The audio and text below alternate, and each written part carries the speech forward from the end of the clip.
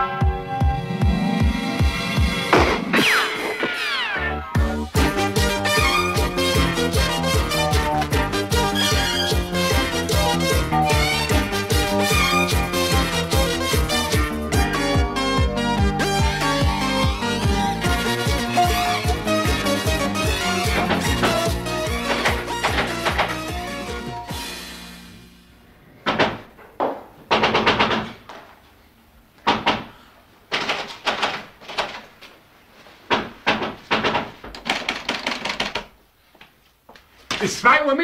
Mittagspause. Können Sie 20 Minuten nicht noch abwarten?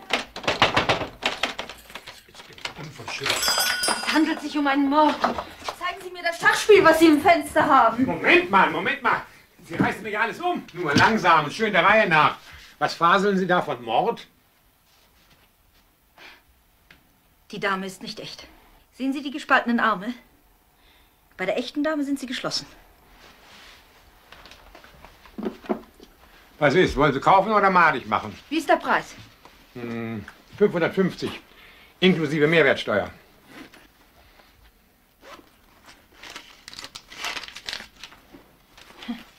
So viel habe ich nicht bei mir.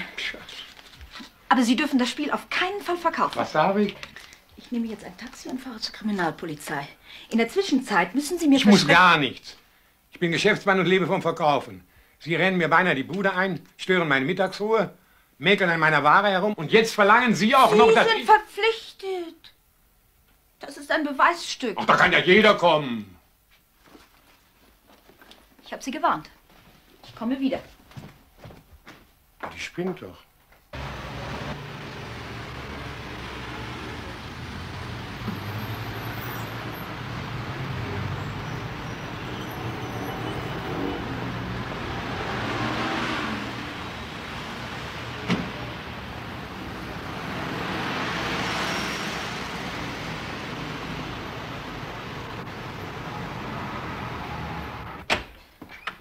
Entschuldigung, Herr Köster, hier ist eine Dame, die Sie unbedingt sprechen will.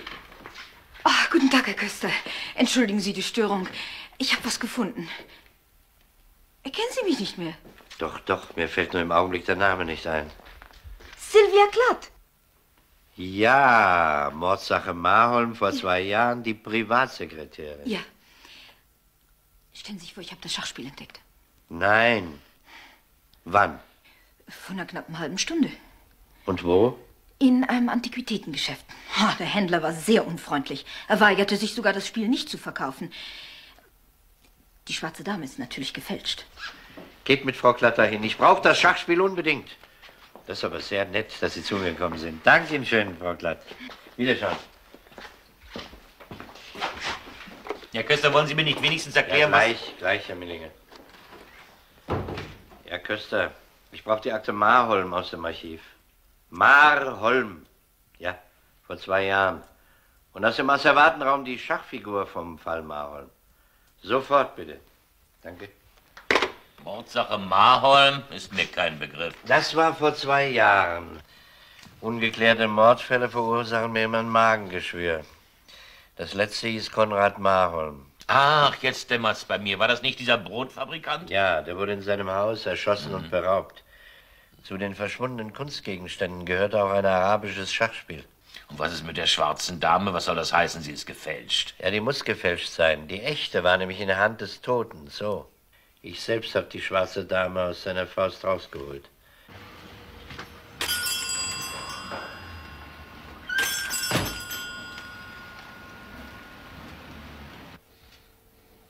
Wo ist es geblieben? Verkauft. Nein. Kriminalpolizei. Das Schachspiel hat mit einer Mordsache zu tun. Das hat Ihnen die Dame aber schon gesagt. Das hätten Sie nicht verkaufen dürfen, Herr. Wollander. Unglaublich. Ich habe es ihm mit aller Deutlichkeit gesagt. Was, diese Dame kreuzt hier auf, schlägt mir fast die Ladentür ein, dann redet sie lauter irres Zeug. Ich dachte schon, ich hätte es mit einer Verrückten zu tun. Wie konnte ich denn wissen, dass ich... Wann haben Sie es verkauft, Herr Bolander? Vor einer Viertelstunde. Der Mann hat bar bezahlt, ohne zu handeln. Glauben Sie, ich lasse mir sein Geschäft entgehen? Hm, Kann unser einer sich nicht leisten. Wer war der Käufer? Äh, Vielleicht kennen Sie ihn zufällig. Nein. Aber er hat mir seine Karte dagelassen. Wenn ich mal wieder was Interessantes hätte, soll ich ihn anrufen. Kann ich die haben? Bitte. Vielen Dank, Herr Bolander. Kann sein, dass wir uns noch mal melden. Komm. Wäre alles nicht nötig gewesen, wenn Sie auf mich gehört hätten. Lassen Sie mich doch zufrieden. Ermordete war ein Eigenbrötler und ein Familientyrann. 65 Jahre und drei Tage alt ist er geworden. So sah er aus zum Schluss. Ja, Todeszeit war Mitternacht. Entdeckt wurde die Leiche am nächsten Vormittag von seiner Privatsekretärin. Die aufgeregte Dame von vorhin? Ja, Sylvia Klatt. Die ist geschieden und kinderlos. Das war meine beste Zeugin damals. Sie hat mir geholfen, wo sie nur konnte. Und trotzdem Fehlanzeige? Ohne sie hätte ich noch weniger erreicht, denn die Familie, drei Töchter und der männliche Anhang, die waren polizeifeindlich bis auf die Knochen. Verstockt und arrogant. Auch tatverdächtig? Ja, natürlich, alle miteinander. Durch den Tod des Vaters sind sie alle reich geworden. Ein englischer Nährmittelkonzern hat die Bootfabrik gekauft für 20 Millionen. Moment mal, sagten Sie nicht Raubmord? Das kann Tarnung gewesen sein. Sehen Sie, das ist die Nahaufnahme von der linken Faust. Ich habe sie aufgemacht und das da, das da rausgeholt. Mit wem hat er denn Schach gespielt in der Mordnacht? Gegen sich selber. Immer. Der hat berühmte Meisterpartien nachgespielt. Ein Eremit. Ja, ein einsamer Mann. Kein Intellektueller. Er hat sich vom Bäckergesellen hochgearbeitet bis zum Besitzer der Brotfabrik. Ja, die Dame ist jetzt unsere ganze Hoffnung. Cherchez la femme. Herr Griffin, Sie haben heute in dem Antiquitätengeschäft Bolander ein Schachspiel gekauft. Ja, und? Dürfen wir es mal sehen? Natürlich, bitte.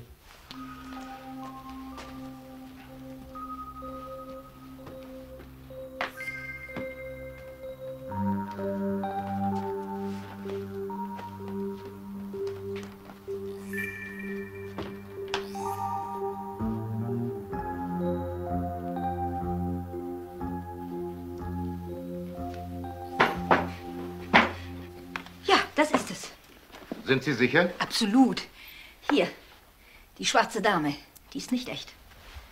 Nicht echt? Wieso? Weil dieser Antiquitätenhändler Ihnen sonst mehr als 550 D-Mark dafür abverlangt hätte. Er wusste das sicherlich. Tut mir leid, wir müssen Ihr Schachspiel vorläufig beschlagnahmen. Moment. Auch wenn Sie von der Polizei sind. Nun mal nicht so schnell. Das habe ich gekauft, das ist mein Eigentum. Sie bekommen ja eine Quittung dafür. Ach, was Quittung. Das soll sein Geburtstagsgeschenk werden. Herr Griffin, das Schachspiel ist ein wichtiges Beweisstück in einer Mordsache. Mordsache?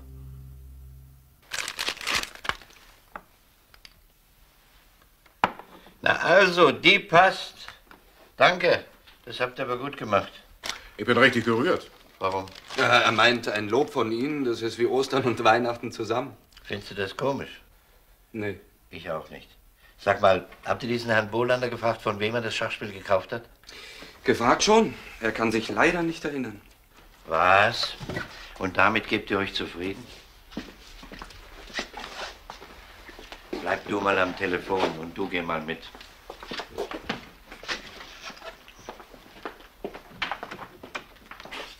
Ich weiß es nicht, Herr Kommissar. Was, Sie verkaufen ein arabisches Schachspiel für 550 Mark und wissen nicht, wo Sie es herhaben? Ich weiß es wirklich nicht.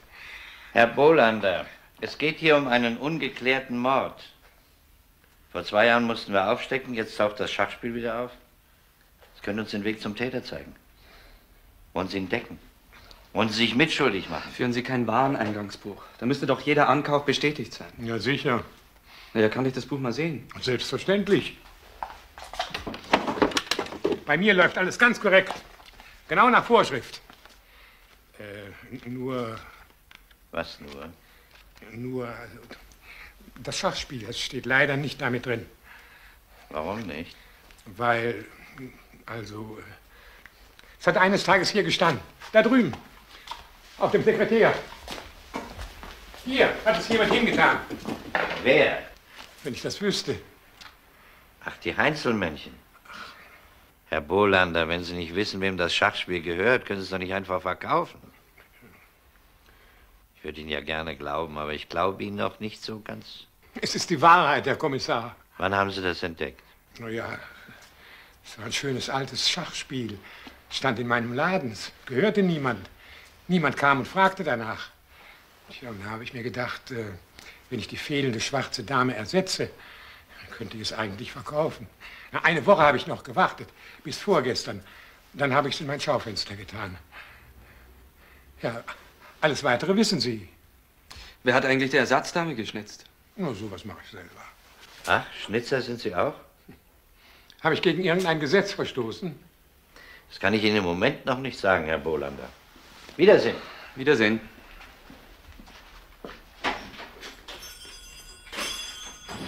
Wiedersehen.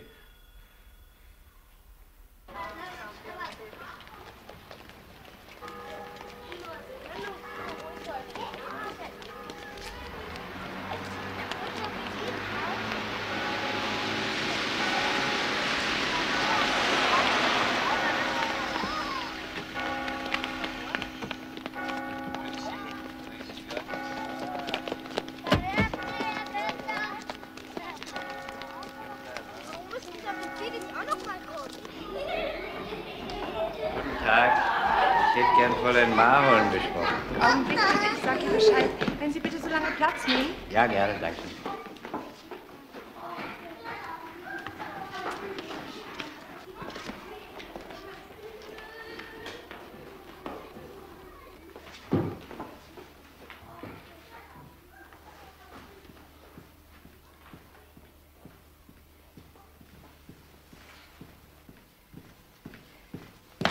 Tag von Marholm. Guten Tag. Guten Tag. Können Sie noch an uns beide erinnern? Vor zwei Jahren? Oh ja, Sie vergesse ich ganz bestimmt nicht. Bitte? Oh, das klingt nicht sehr freundlich. Wundert Sie das? Die Fragen, die Sie mir damals gestellt haben. Die habe ich ja nicht nur Ihnen gestellt, sondern auch Ihren beiden Schwestern, auch Ihren Schwägern. Es ging ja schließlich um den Mord an Ihrem Vater. Und worum geht es heute? Um dasselbe. Pack aus. Wir haben Glück gehabt. Wir haben das verschwundene Schachspiel wieder entdeckt. Gestern Nachmittag. Erkennen Sie es wieder? Muss ich Sie enttäuschen? Ich spiele nicht Schach. Ich habe das Ding nie angefasst. Ich kann nicht mal sagen, ob das überhaupt das Richtige ist. Das ist das Richtige, ganz ohne Zweifel. Na, wie schön für Sie. Also hören Sie mal, wenn Sie so mit uns reden, das können wir auch. Sind Sie überhaupt daran interessiert, dass wir den Mord an Ihrem Vater aufklären? Muss ich das sein? Ja, entschuldigen Sie, ich fände das natürlich.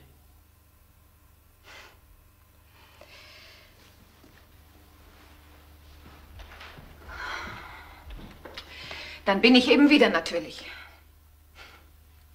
Hat mir mein Vater oft genug gesagt, als er noch lebte. Den letzten Dreck hat er mich behandelt, nur weil ich.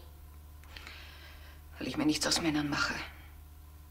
Tja, wenn ich so einen kräftigen Bäckermeister geheiratet hätte, dann. Was ist denn, Thea?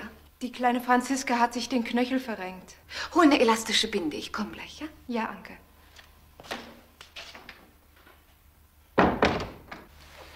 Sie haben Ihren alten Beruf nicht aufgegeben, trotz der Erbschaft.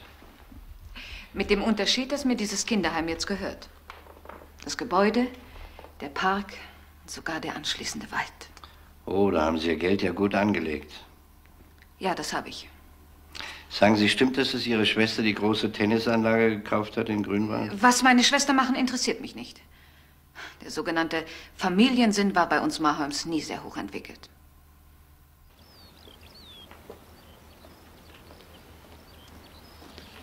Ich glaube, die mag uns nicht. Die hat uns schon damals nicht gemocht. Die ist halt so. Wohin fahren wir jetzt? Zu ihrer Schwester Doris. Die ist ähnlich, aber anders.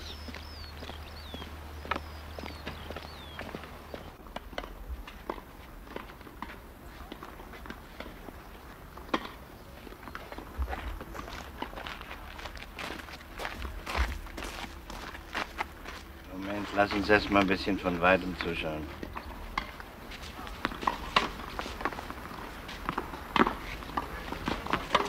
Nein, Patricia, da.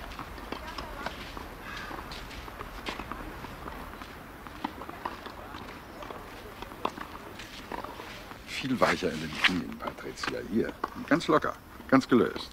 Hm? Komm, nimm mal. Und die rechte Schulter ein bisschen weiter vor, noch mehr. So ist es gut. Hm? Und jetzt ganz entspannt und schwingen. So, schwingen. Hm? Der ganze Körper muss schwingen, Patricia. Klar? Der geht aber ran. Wollen wir Schluss machen für heute? Ja. Schluss für heute, Peter, danke. Wie vor zwei Jahren. Er betreut den Nachwuchs. Und sie genießt ihre Eifersucht. Hast du sie schon gesehen? Nein. Ich finde, wir machen echte Fortschritte, Patricia. Oh, vielen Dank. Ist mein zweiter Schläger schon fertig? Aber ja, hm? Kann ich ihn gleich mitnehmen? Also gut, komm. Komm weg hier.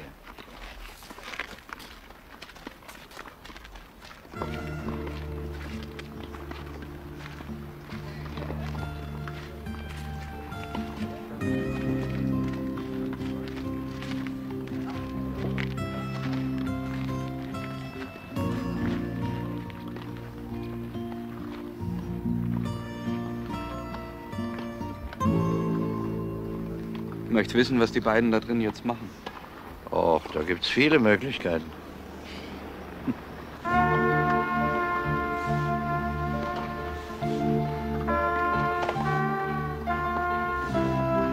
Da kommt sie. Elegante Frau.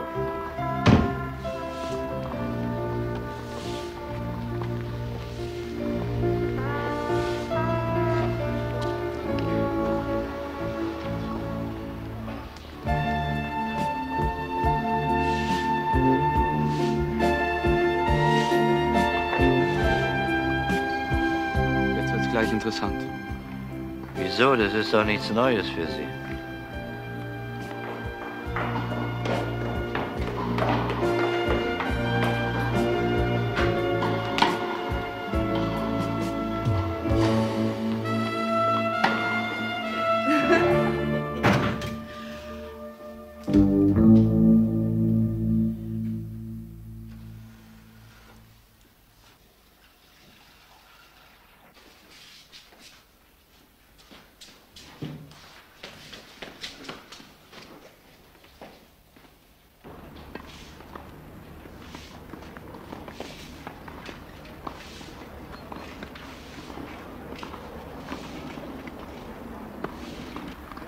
Marholm kam da wohl im falschen Moment.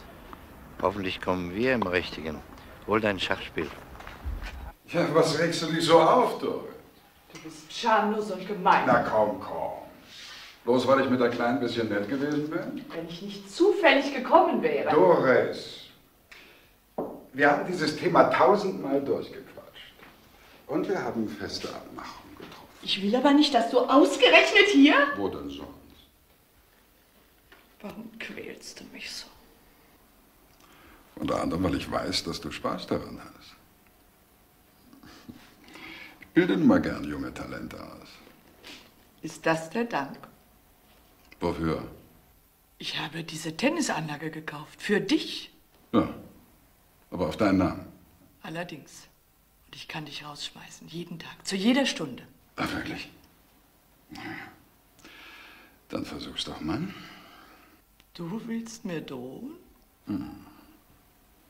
Ich habe nur geantwortet. Lothar.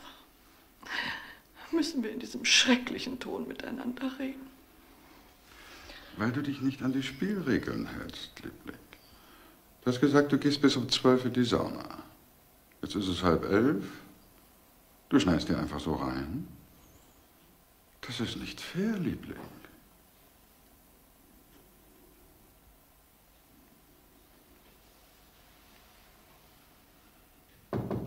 Grüß Gott. Stören wir? Wieso kommen Sie so einfach hier? Sind Sie nicht dieser... Ja, dieser, dieser Köster von vor zwei Jahren. Das ist mein Kollege Heimann. Grüß Gott. Das ist mein Mitarbeiter. Pack aus. Was wollen Sie? Ich wollte Ihnen was zeigen. Erkennen Sie es wieder? Das ist Schachspiel von Ihrem Vater. Es war zwei Jahre verschwunden. Und jetzt ist wieder aufgetaucht. Und nun hoffen wir auf Ihre Hilfe. Auf meine Hilfe? Ich spiele nur Bridge. Aha. Und Sie, Herr Krei? Das ist eine wunderschöne Arbeit. Ja, ist arabisch. Erkennen Sie es wieder? Nee, ich habe es überhaupt nur ein einziges Mal gesehen, an seinem Geburtstag. Spielen Sie Schach? Oh, leidenschaftlich. Schon seit meiner Kindheit. Und Sie haben nie eine Partie mit dem alten Herrn Mahon gespielt? Aber lieber Herr Costa, das haben wir Ihnen doch seinerzeit schon bis zum Überdruss erklärt. Glauben Sie im Ernst, mein Schwiegervater hätte sich jemals mit mir an ein Schachbrett gesetzt? In seinem Haus? Du liebe Zeit. Ich war doch für den ein Nichtstuer. Ein Tenniszigeuner. Nein, nein, ich habe sein Haus ein einziges Mal betreten. An seinem 65. Geburtstag. Für eine halbe Stunde. Dann bin ich gegangen. Wir sind alle gegangen damals. Können Sie sich wenigstens erinnern, wann und von wem Herr Mahon das Schachspiel bekommen hat? War das ein Geschenk oder ein Kauf, ein Reiseandenken, ein Erbstück? Ich kann nur wiederholen, was ich schon damals zu Protokoll gegeben habe. Es war ein Geschenk meines Schwagers Knut Breker. Ach, der die Knallerei beim Film organisiert. Er ist Pyrotechniker.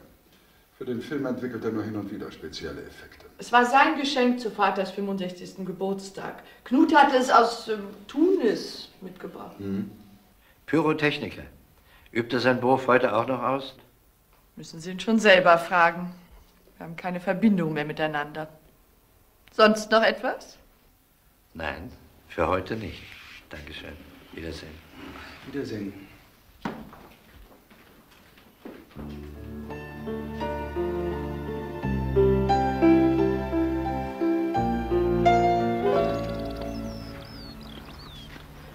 Na?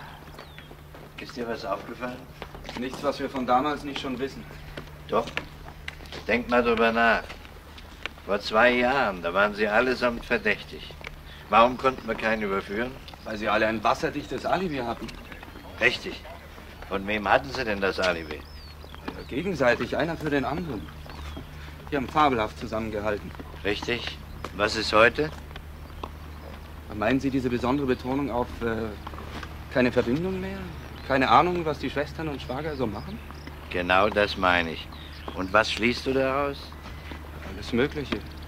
Schlechtes Gewissen vielleicht. Leute, die eine gemeinsame Leiche im Keller haben, gehen sich lieber aus dem Weg. So ist es.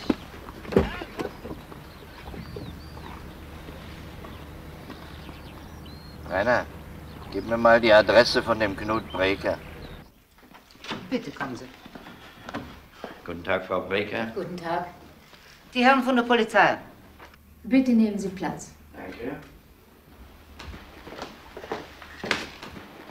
Frau Zobel, Sie bleiben bitte hier. Was hört Sie zu, ne?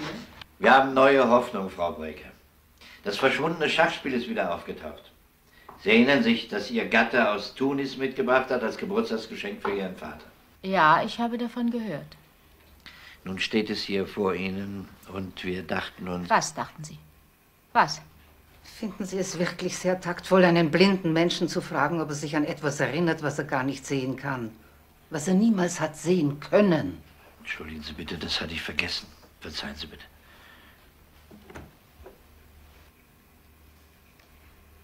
Gibt es sonst noch Fragen? Ja, wo finden wir Ihren Mann? Vermutlich in seinem Labor? Immer noch hinterm Ostbahnhof? Ja, immer noch. Arbeitet er noch in seinem Beruf? Ja, das tut er. Verzeihen Sie mir eine direkte Frage. Äh, Hatte das noch nötig? Nötig nicht, aber es macht ihm Freude und er ist erfolgreich. Ja, dann habe ich nur noch eine Frage. Das ist doch ein großes Haus mit allen Nebengebäuden und äh, viel Platz. Warum hat er denn das Labor nicht hierher verlegt? Das fragen Sie mich? Bitte gehen Sie. Sie sind erstaunlich geschmacklos. Frau Brecker hat bei einem Unfall im Labor Ihres Mannes Ihr Augenlicht verloren. Und da fragen Sie, warum das Labor nicht hierher verlegt wird? Entschuldigen Sie bitte, das habe ich nicht gewusst. Bitte nochmal zum Verzeihung. Guten Tag.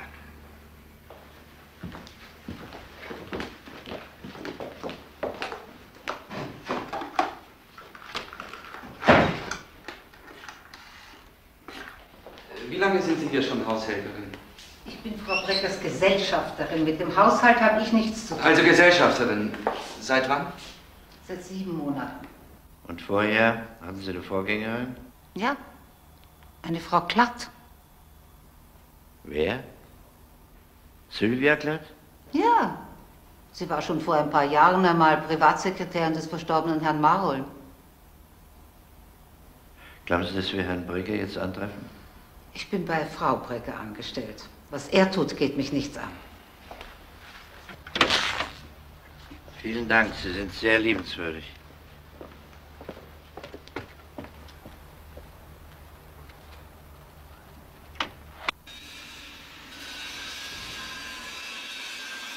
Wir machen das Ganze nochmal.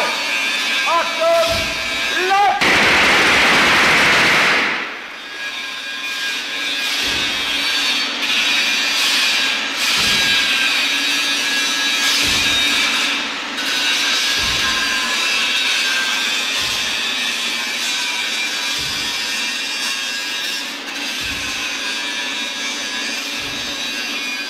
Ja, Herr Breger, das ist gestern wieder aufgetaucht. Bei einem Antiquitätenhändler namens Bolander. Kennen Sie den zufällig? Den Namen habe ich schon mal gehört. Weiß allerdings nicht mehr in welchem Zusammenhang. Ach, denken Sie doch mal drüber nach. Vielleicht fällt es Ihnen wieder ein. Tja. Bolander. Nein. Tut mir leid. Im Moment keine Erinnerung. Aber das ist das Schachspiel, das weiß ich genau. Herr Bolander weiß nicht, wie es in seinen Laden gekommen ist. Stand plötzlich da, Hokuspokus. Was sagen Sie dazu? Klingt unwahrscheinlich. Ja, das finden wir auch. Aber jetzt mal was anderes. Sie wissen, Herr Marlm hatte drei Töchter. Wir haben sie heute der Reihe nach alle aufgesucht. Keiner von ihnen weint dem ermordeten Vater auch nur eine Träne nach. Schon damals war ihre Trauer nicht allzu groß. Und heute sieht so aus, als ob sie ihnen vollkommen gleichgültig ist, ob wir den Fall doch noch aufklären oder nicht. Wie finden Sie denn das? Haben Sie dafür eine Erklärung? Ja, Und welche? dieselbe wie damals. Wenn Sie ihn gekannt hätten, würden Sie diese Frage nicht stellen. Ach, erzählen Sie doch mal was von ihm. Ich habe es Ihnen doch schon seinerzeit ganz genau geschildert. Bitte tun Sie es doch noch mal. Ich bin so neugierig. Drei Tage vor seinem schrecklichen Tod hatte er Geburtstag. Den 65. Ja. Wir waren alle da. Aus Höflichkeit, nicht aus Liebe. Es endete mit einer Katastrophe. Ich weiß natürlich, warum ihr gekommen seid. Ich weiß auch, warum ihr euch so in Unkosten gestürzt habt. Mit den Geschenken. Ihr denkt, nun bin ich ein altes Eisen. Ein Greis von 65. Jetzt bricht er zusammen. Jetzt gibt er auf. Jetzt sind wir dran. Wie? Aber ihr irrt euch. Ich bin noch voll da. Und wenn ich mal aufhöre, dann wird es einen würdigen Nachfolger geben. Ich werde einen jungen Bäcker adoptieren. Einen erprobten und fähigen Mann meines Betriebes. Und ich werde testamentarisch dafür sorgen, dass ihr nicht auf meine Kosten euer Luxusleben... Vater, wir sind nicht gekommen, um uns wieder beschimpfen zu lassen. Du redest nur, wenn du gefragt wirst. Du bist die Jüngste und die Verkommste. Dein Lebenswandel... Geht dich nichts an! Ich bin nicht mehr sieben, sondern 32. Und wen ich liebe oder mit wem ich schlafe, ist allein meine Sache. Reg dich doch nicht auf, Anke, du kennst ihn doch. Was soll das heißen? Du kennst ihn doch. Willst du deinen Vater kritisieren? Du taugst genauso wenig wie sie. Anstatt mir einen Schwiegersohn... Hör auf, Vater! Anstatt mir einen Schwiegersohn ins Haus zu bringen, der mein Nachfolger werden könnte, hängst du dich an so einen Lackaffen, der wie ein Kind nach Bällen schlägt und in der Welt herumzigeunert, der dich nach Strich und Faden betrügt. Hör mal, du. Seit wann duzen wir uns, Herr? Wollen Sie mir in meinem eigenen Haus den Mund verbieten? Mann, Sie tun mir nur leid. Sollen wir alle hier vor Ehrfurcht erzittern, bloß weil Sie es zum Millionär gebracht haben? Mich kotzt das nur an. Ich gehe. Doris, kommst du mit?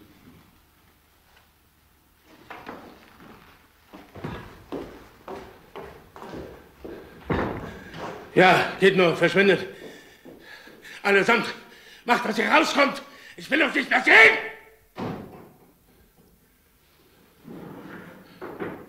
Marianne, du kannst natürlich bleiben. Du weißt, dass du jederzeit in dein Vaterhaus zurückkommen kannst. Ich gehöre zu meinem Mann. So. Du gehörst zu deinem Mann, Zu diesem Knallfrosch, ein erwachsener Mensch, der sein Leben lang Silvesterraketen bastelt, anstatt etwas Nützliches zu tun. Ich backe Brot! Brot! Versteht ihr? Der Mensch lebt vom Brot und nicht von Knallfröschen. Hast du vergessen, was er dir angetan hat? Er ist schuld daran, dass du deine Augen liest. Vater! Ich will deine Stimme nie wieder hören.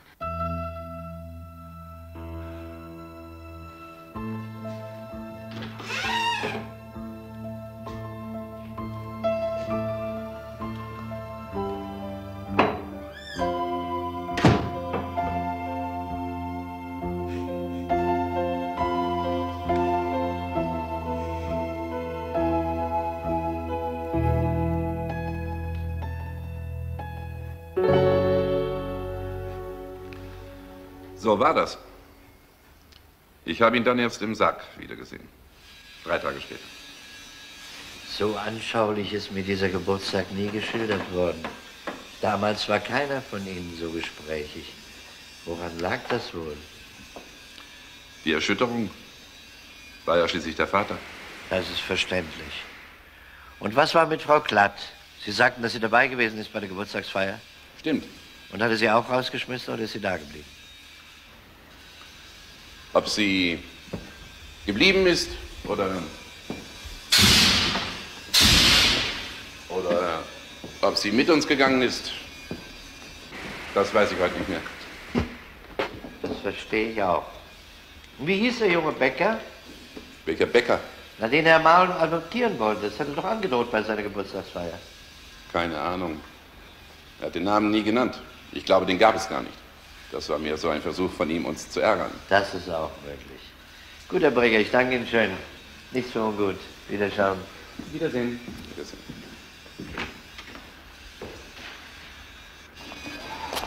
Warum wollten Sie unbedingt wissen, ob die Klapp noch geblieben ist?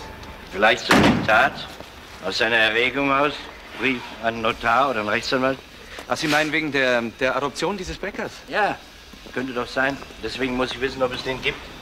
Und das werden wir morgen feststellen.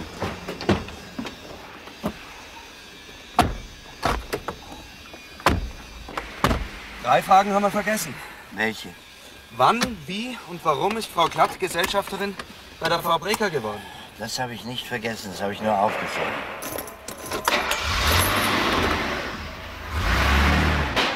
Tut mir leid, ich bin erst seit einem Jahr hier. Hab den Vorbesitzer selber nicht gekannt. Aber unser Herr Wollner wird Ihnen da sicher helfen können. Er ist der Älteste im Betrieb. Hier lang bitte. Bitte. Herr Wollner, die Herren wollen Sie sprechen. Ja. Tag, Herr Wollner. Grüß Gott. Grüß Gott. Köster, Kriminalpolizei. Ich hätte gerne Auskunft von Ihnen. Auskunft? Ja, Sie haben doch den alten Herrn Marholm noch gut gekannt, nicht? Ja, sehr gut. Bitte. Hm, Danke. Ja, dann, äh, Ich habe ja 22 Jahre für ihn gearbeitet. Bin jetzt fast 25 Jahre in diesem Betrieb. ja, dann kennen Sie doch sicher auch seine letzten Pläne. Ich habe gehört, er hat einen jungen Bäcker so gefördert, sozusagen äh, zum Nachfolger aufgebaut. Ja, das stimmt. Martin Ackermann. Ein Junge ohne Eltern, ohne Familie. Um den hat er sich sehr gekümmert. Hat ihn frühzeitig die Meisterprüfung machen lassen. Wollte ihn sogar noch auf eine Schule schicken. Betriebswirtschaft oder so. Sie sagten wollte. Naja, sein Tod kam ja leider dazwischen. Ah ja. Und was ist denn aus dem jungen Bäcker geworden? Ja, der hat auch seinen Weg so gemacht. Durch eine Heirat. Die einzige Tochter des größten Kuchenherstellers hier in München. Wieland? Ja, richtig, Wieland. Müsste eigentlich längst Ackermann heißen, die Firma. Hat den alten Laden mächtig in Schwung gebracht. Herr Marlon war zu mir wie ein Vater. Ich habe ihm sehr viel zu verdanken. Man sagt, er sei ziemlich koch- und jähzornig gewesen. Nicht zu mir. Ich glaube, er sei mir so eine Art Sohnersatz. Auch sein Nachfolger? Schon möglich. Gab es da konkrete Gespräche darüber? Eigentlich immer nur Andeutungen. Bis auf den Morgen an seinem letzten Geburtstag. Was war da? Ich ging in sein Büro, um ihm zu gratulieren. Und da hat er mich gefragt, ob ich mir vorstellen könnte, sein Adoptivsohn zu werden. Was haben Sie da gesagt? ja, habe ich gesagt. Das würde mir überhaupt nicht schwerfallen, Chef. Ach, Und wie ging es dann weiter? Er war sehr glücklich. Er sagte, er würde dann noch heute alles beim Notar in die Wege leiten. Ja. Zwei Tage später war er dann tot. Kannten Sie seine Töchter und die Schwiegersöhne? Bei der Beerdigung habe ich sie zum ersten und zum letzten Male gesehen. Sein Verhältnis zu seinen Töchtern und Schwiegersöhnen soll sehr gespannt gewesen sein. Tja, wie soll ich sagen? Er hat sie alle nicht gemocht. Er war da oft sehr drastisch. Faule Bande, spinnerte Bagage, elende Mischpoke. Anders hatte sie mir gegenüber nie genannt. Durch seinen Tod sind sie alle plötzlich reich geworden. Haben Sie mal darüber nachgedacht? Was gibt's denn da viel nachzudenken? So sind halt die Erbschaftsgesetze. Drei Wochen später habe ich dann meine Frau kennengelernt. Ihr Vater hat mich hier mit offenen Armen empfangen. Wieder so ein alter Brummbär. Weiches Herz in rauer Schale. Mit einer ungestillten Sehnsucht nach einem männlichen Erben. Tja, ich bin eben ein Glückspilz, Herr Köster. Na, dann wünsche ich Ihnen, dass das auch so bleibt.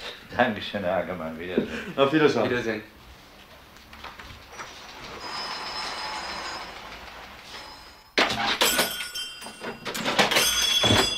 Der Tag Boris, wie geht's? Wollte nur mal vorbeischauen nach dem Schachspiel sehen. Hast du es verkauft? Mensch, Paul, seit zwei Tagen versuche ich dich zu erreichen. Am Telefon meldet sich niemand. Ich war auf Tour mit dem Bus. Stell dir vor, die Polizei war hier.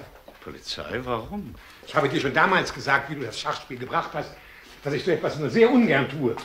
Figuren nachschnitzen und so. Ja, aber was hat denn das Schachspiel mit der Polizei zu tun? Mord.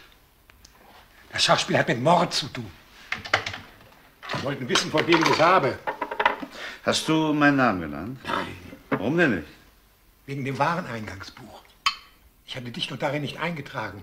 So konnte ich, so durfte ich doch gar nicht wissen, von wem das Schachspiel war.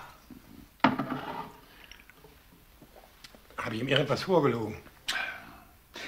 Hast du es denn nun verkauft? Ja, natürlich. Er hat nicht mal gemerkt, dass ich die schwarze Dame nachgeschnitzt habe. Da kannst du mich ja auszahlen. Das mit der Polizei musst du nicht so tragisch nehmen. Du hast ihnen etwas erklärt, das müssen sie eben schlucken. Hm. Ich weiß ja auch nichts Genaues über das Schachspiel. Ich habe dir erzählt, dass ich damals sehr billig von jemand gekauft habe. Ah. Du kannst mir nicht sagen, von wem? Und ob ich mich erinnere. Diese Geburtstagsfeier vergesse ich nie. Der alte Herr war außer sich. Und hat alle Töchter und Schwiegersöhne rausgeworfen, nicht wahr? Ja, Und sind Sie noch geblieben? Ja, Auf Wunsch von Herrn Mauln. ja, aber Warum denn? Wollte er Ihnen noch was diktieren? es, war schon zwei Jahre her. Aber Sie haben recht. Er hat mir noch was diktiert. Was denn zum Beispiel? Das weiß ich nicht mehr, Herr Köster. Wissen Sie auch nicht mehr an wen? Brief an den Notar vielleicht? Sein Notar? Nein. Ich glaube, es waren äh, Briefe, Dankbriefe an Gratulanten, an Freunde. Gut, gut. Morgen, Herr Bolander. Guten Morgen. Na, hoffentlich nicht nur Rechnungen. Nee, diesmal ist ein Päckchen dabei. Ah, danke schön. Wiedersehen. Wiedersehen, Herr Bolander. Bolander!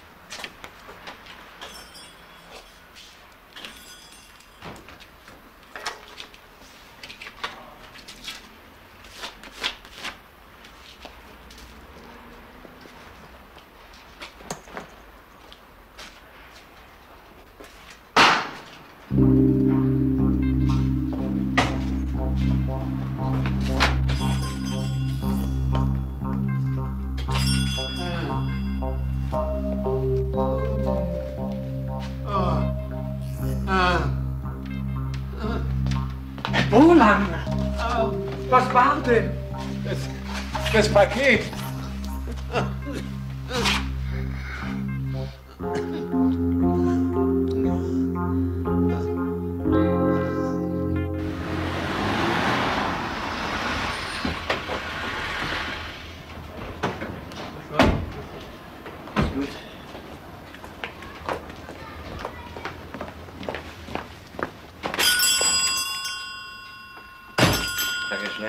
Tag, Herr Köster. Schon was sagen? Nach Mordversuch sieht das nicht aus. Eher ein Schabernack. Allenfalls ein Schreckschuss. Blitzlichtpulver in jeder Fotohandlung zu haben. Was für eine Zündung? Taschenlampenbatterie. Mit der Päckchenverschnürung verdrahtet. Spezialistenarbeit? Ja und nein. Ah. Na. Tag, Herr Doktor. Danke. Wie sieht's denn aus? Er hat Glück gehabt. Herr Bolander. Haben Sie eine Ahnung, wer Ihnen diese Gemeinheit angetan hat? Nein, nein. Kennen Sie einen Breker? Knut Breker. Nein. Wie ist es jetzt mit den Augen? Können Sie das lesen? Noch etwas verschwommen. Dann ist es besser, Sie kommen mit uns. Ja.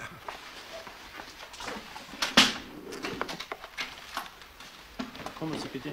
Gute Besserung, Herr Bolander. Danke. Ja, was meinst du? Knut Breker? Glaube ich nicht. Viel zu dick, dieser Verdacht. So blöd kann er doch nicht sein. Wer sonst? Vielleicht einer aus der Familie, der Breker verdächtigt. Oder unter Druck setzen will. Was machen wir? Alle sofort beschatten. Die ganze Mischpoke, wie der alte Marholm sagen würde.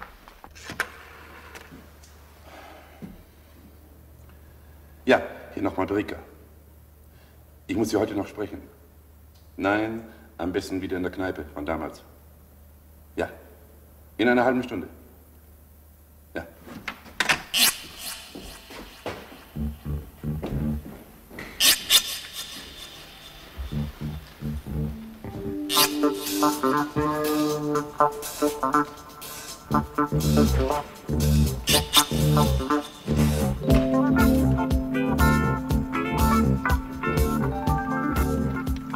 Gerd, er fährt los, ich häng mich ran. Ja, ich melde mich wieder,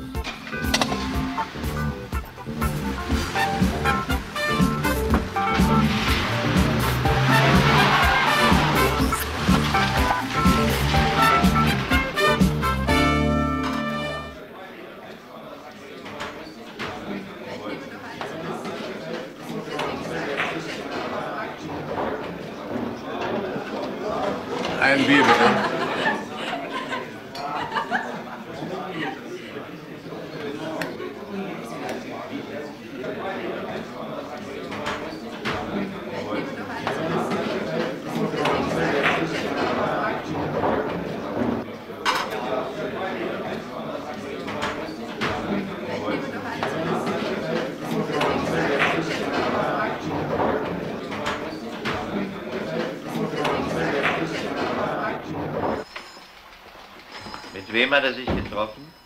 Mit einem Busfahrer. Was für ein Busfahrer? Ein Reisebusfahrer, gleichzeitig der Besitzer. Ich habe über die Autonummer seinen Namen festgestellt. Paul Jänicke, Jahrgang 40. Zwei Vorstrafen. Körperverletzung, unerlaubter Waffenbesitz. Ja, aber seit sechs Jahren ist er sauber. Hier ist noch ein Freispruch. Am 2.10.72. Danach war er Taxifahrer und Busunternehmer. Richtig, aber seit drei Jahren war er Taxifahrer ohne eigenes Fahrzeug. Plötzlich kauft er sich einen Reisebus. Bar bezahlt. Und wovon? Worüber haben die beiden in der Kneipe gesprochen? Ich habe kein Wort verstanden, aber das Gespräch war sehr intensiv. Sollen wir ihn vorladen oder gleich hinfahren? Weder noch, nur beschatten. Und jetzt kommt der Knüller. Es gab da noch einen dritten Prozess. Hauptsache. Ja, das ist doch wieder ein Freispruch. Ja, durch eine Entlastungszeuge. Eine angeheiratete Cousine. Und wissen Sie, wie die heißt? Woher soll ich das wissen? Ich bin doch kein Hellseher. Hier. Lesen Sie selbst. Sylvia Klatt. Komm mit. Von dem Attentat auf Herrn Bolander haben Sie inzwischen erfahren? Steht heute in der Zeitung. Vorher wussten Sie nichts davon. Woher sollte ich? Vielleicht durch einen Anruf von Herrn Breker. Herr Breker, wie kommen Sie darauf?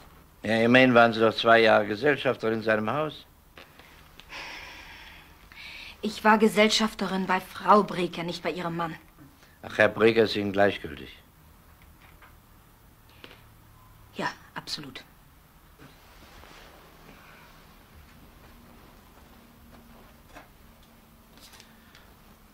So gleichgültig sehen Sie ihn hier aber gar nicht an.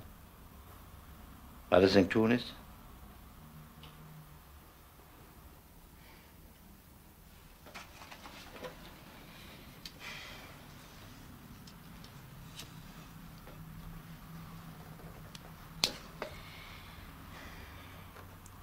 Gut, ich gebe zu, ich war eine Zeit lang seine. seine Freundin. Ist das ein Verbrechen? Das behauptet ja niemand. Ich kann Sie vollkommen verstehen. Und ihn auch. Hat das schon zu Lebzeiten von Herrn Maulm angefangen? Wann hat es denn aufgehört? Wann?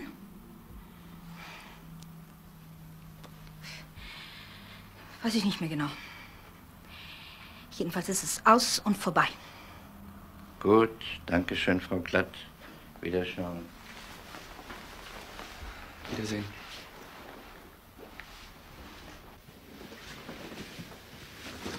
Ach, noch eine Frage. Haben Sie noch Kontakt mit Paul Jänicke, dem Verwandten? Er ist nicht mein Verwandter. Er ist der Cousin meines geschiedenen Mannes. Ich habe keinen Kontakt mehr mit ihm. Mhm. Dankeschön, Wiederschauen. Wiederschauen.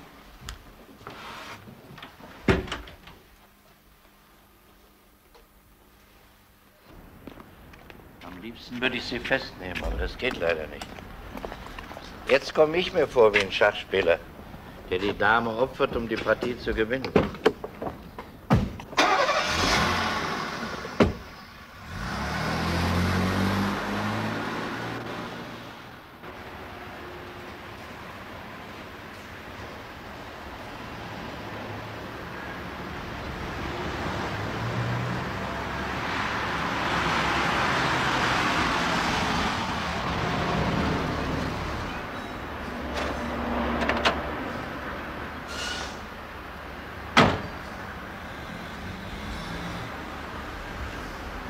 Morgen.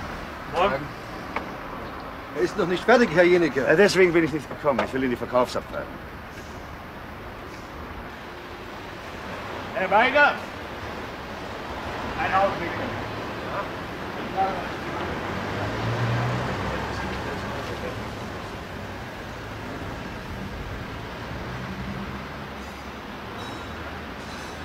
Wir reden nächste Woche nochmal drüber.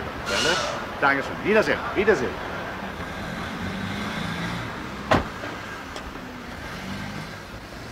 Ach, bitte. Ja? Was hat derjenige eben mit Ihnen besprochen? Kriminalpolizei. Naja, er hat sich nach dem Preis für einen neuen Bus erkundigt. Was will er denn anlegen? Er will seinen alten Bus in Zahlung geben und 100.000 dazu zahlen. Äh, danke vielmals. Bitte behalten Sie das Gespräch für sich, ja?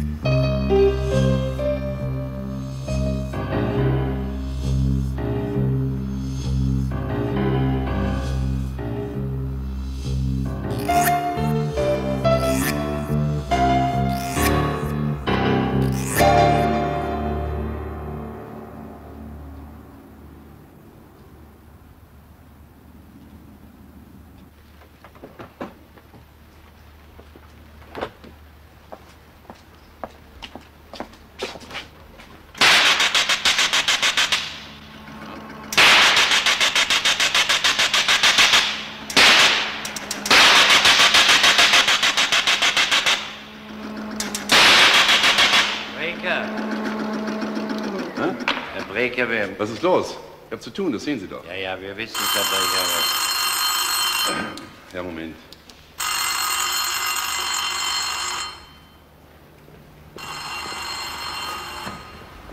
Ja, Breker.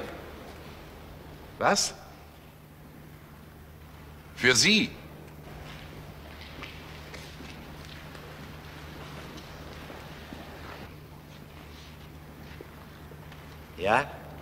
Halbe Stunde hat er zu Ihrer Wohnung aufgestarrt. Was macht er jetzt? Na, jetzt steht er vor der Haustür und hypnotisiert die Klingelknöpfe. Was soll ich denn machen, wenn er zu ihr raufgeht? Stellt mal's auf, wenn er kommt rüber.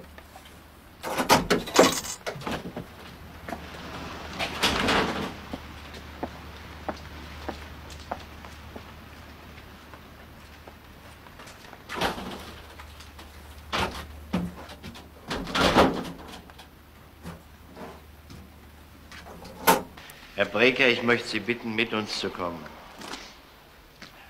Mitzukommen? Wohin? Hören Sie, ich habe morgen einen schweren Arbeitstag. Wir auch, Herr Breker. Wir auch. Na, hör mal, Paul. Hatten das nicht Zeit bis morgen? Das ist doch kein Grund, mich, mich mitten in der Nacht hier. Ja. Wo bist du denn überhaupt? Ich bin in der Telefonzelle gegenüber von deinem Haus. Nein, ich komme nicht rauf zu dir. Weil es nicht gut ist, wenn Hausbewohner uns zusammen sehen. Komm runter in den Waldweg, ich muss etwas mit dir besprechen. Es ist dringend. Ja, den Mittelweg. Ich warte auf der zweiten Bahn.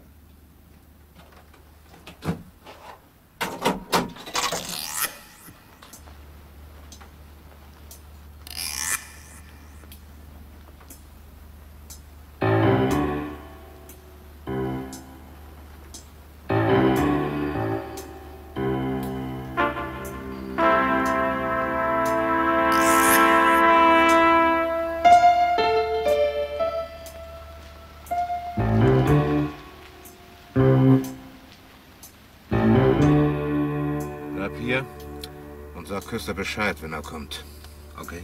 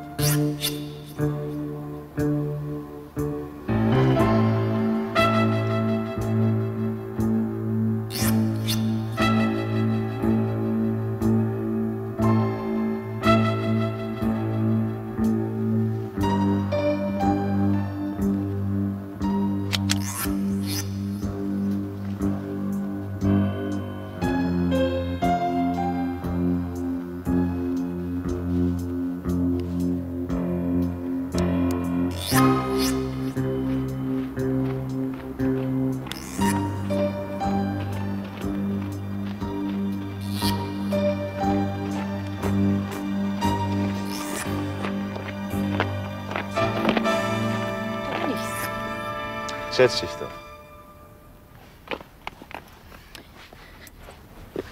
Also, was willst du? Was ist so dringend? Ich brauche deinen Rat. Ich höre. Weißt du, ich, ähm, ich könnte auf einen Schlag nochmal 100.000 verdienen. Wie damals.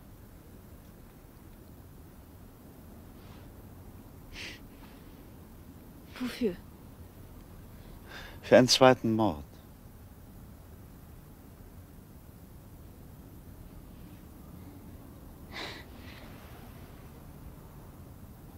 Wer ist dein Auftraggeber?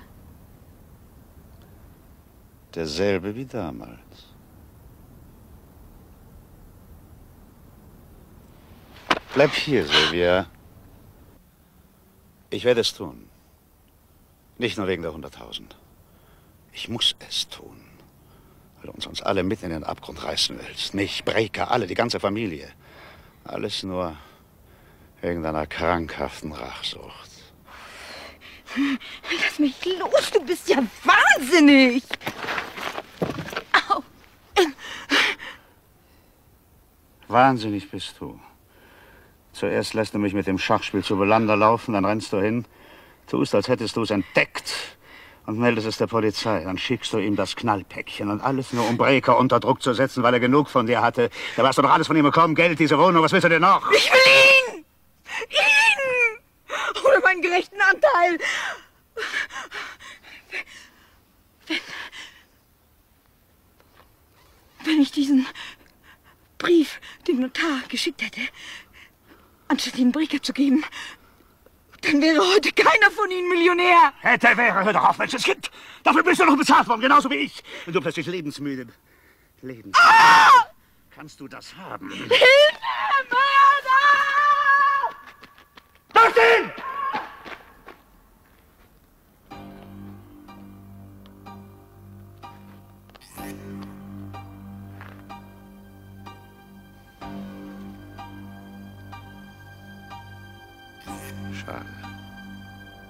Sylvia.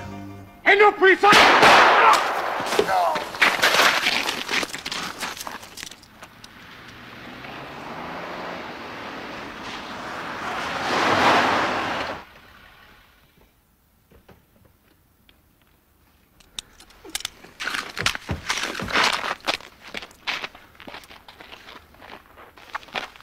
Ich habe das unfreiwillige Geständnis der beiden gehört. Er wollte sie erschießen.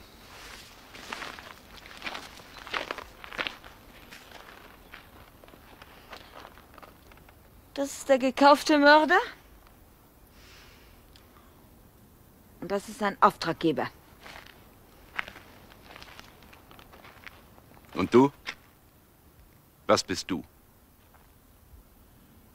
Ja, was sind Sie?